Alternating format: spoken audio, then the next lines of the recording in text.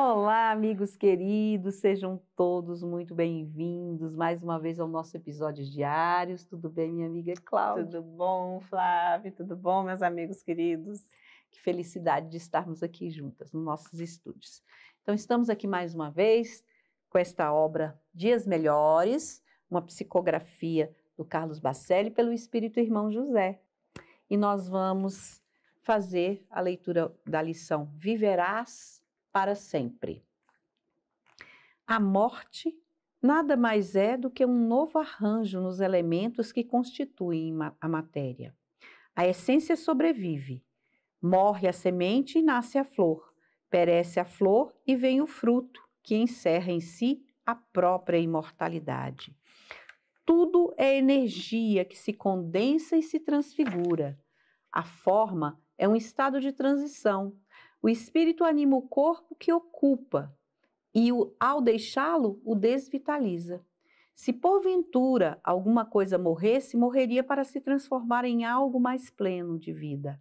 Os átomos se reordenam, as células, células se reagrupam. Nada desaparece na economia do universo. Se desaparecesse, para onde haveria de ir? Em contato estreito com a matéria densa é que o ser se individualiza e se sublima. Viverás para sempre. Que linda, né? Uma mensagem de consolo para todos nós. E interessante que ele fala, a gente já falou tanto sobre a morte, né, Flávio? Mas ele fala aqui pela ótica da energia mesmo uhum. material, que ela nunca se desfaz.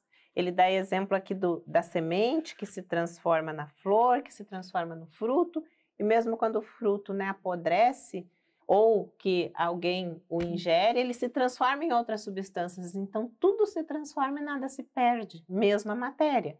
Quem dirá o espírito? Uhum. Quem dirá a nossa um ser inteligente, se a gente pensar, né? Não faz sentido nós com toda essa inteligência, com tudo que a gente, o amor que a gente sente, até os sentimentos ruins, toda essa vivência que a gente tem, simplesmente se acabar, se destruir, sendo que a própria natureza ela se transforma.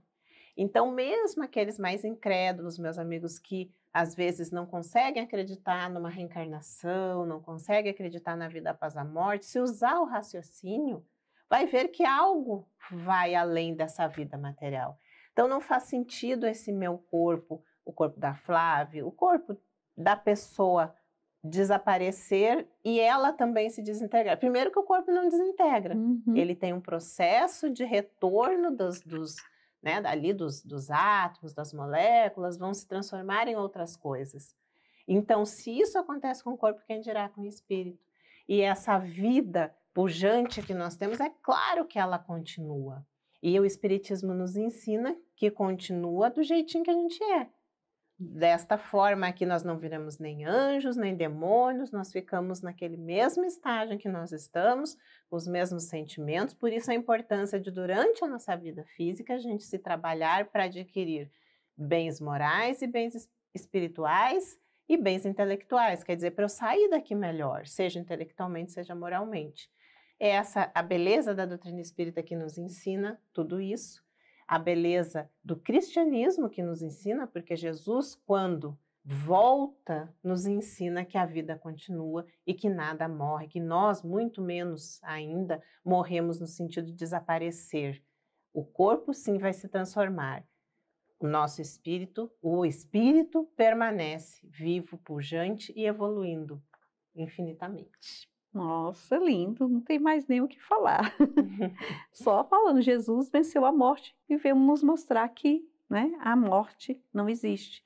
Tudo muda, tudo se transforma aqui, né? E tem um, a lei da física que fala isso, né? Da transformação. E somos energias, a energia que se condensa e a energia né, que se, como é que fala? Expande. Então, sempre estaremos aí, viveremos para sempre. E é isso. Ave a física, né? É. Muito bem. Não, não sou não, mas de vez em quando a gente...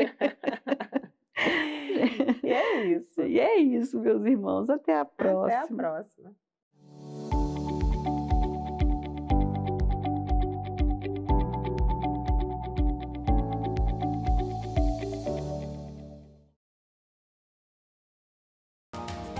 Nós estamos nas redes sociais. No Facebook você pode acessar facebook.com/barra Comunhão Espírita.